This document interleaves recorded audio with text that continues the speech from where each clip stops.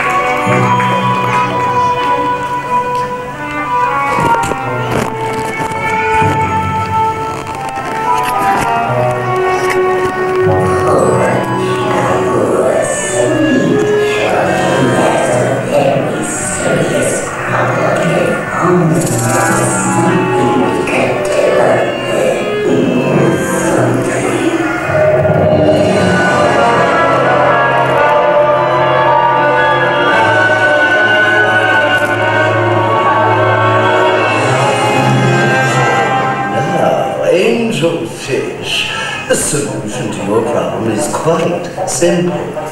The only way to get what you want is to become human yourself. Can you do that? Oh, my dear sweet child, that's what I do. It's what I live for. To help unfortunate merfolk like yourself. Poor souls with no one else to turn to.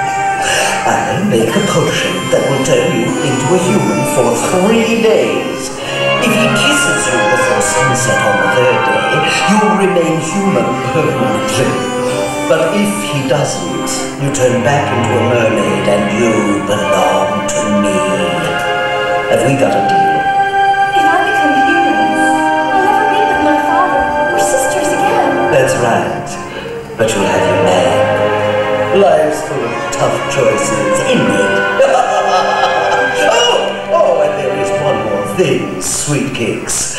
No more talking, singing, zing. But without my voice, how can I... You'll have your voice,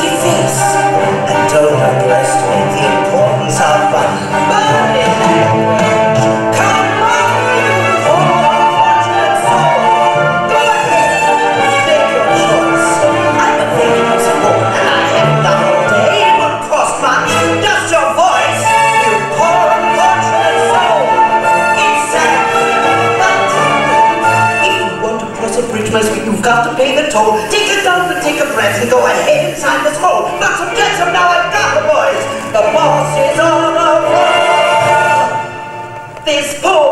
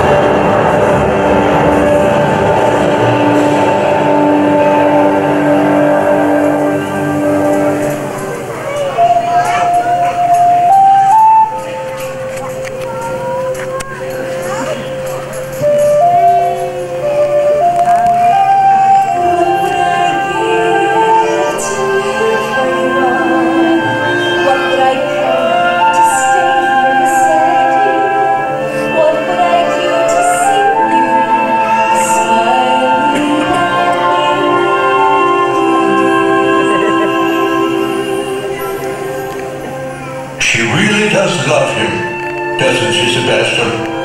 Hmm. It's like I always say, Your Majesty. Children got to be free to lead their own lives. Then I guess there's just one problem left. And what's that, Your Majesty? How much I'm going to miss her.